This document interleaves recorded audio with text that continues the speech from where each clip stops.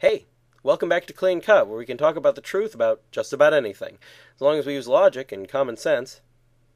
This season, we're addressing the parts of the Old Law which remain valid and grave today the Ten Commandments. So far, we've talked about the first six commandments, and now it's time for the seventh Thou shalt not steal.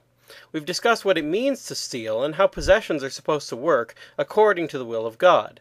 This week, fraud. Is fraud stealing?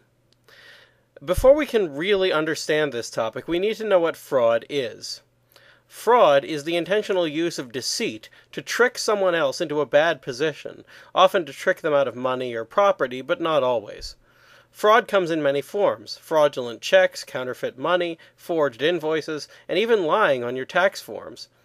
Even at first glance, however, it's pretty clear that fraud usurps someone else's property.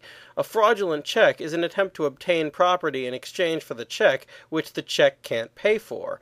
Counterfeit money is an attempt to use phony currency to pay for real goods. When the phony currency is discovered and the money is found to be worthless, someone's going to be poorer as a result. So the whole point is to get what rightfully belongs to them, which amounts to the same thing as taking their goods. Forged invoices involve an attempt to convince someone you've purchased something that you really haven't, thus obtaining the thing without giving the rightful owner anything of value in return. And finally, when someone lies on a tax form, they're trying to convince the government that they don't owe as much money as they really do.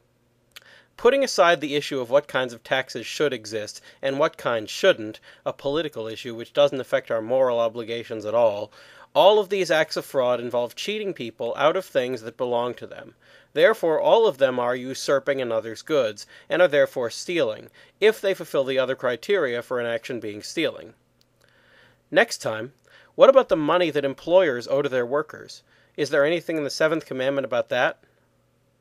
That's all for now, so keep asking questions, and thanks for watching.